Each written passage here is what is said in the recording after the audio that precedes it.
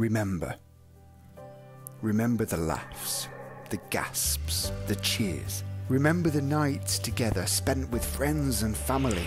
The atmosphere, the anticipation, waiting for the actors to fill the stage. The emotions we felt together as one when we watched the fighters, the lovers, the dancers, the troublemakers, the worlds we created on our stages. Right now, we can't be together, but we will be together again. After two years of construction, a £12 million new building, and a global pandemic, the Octagon will be back. Bigger, better, and bolder than ever before. We miss you right now.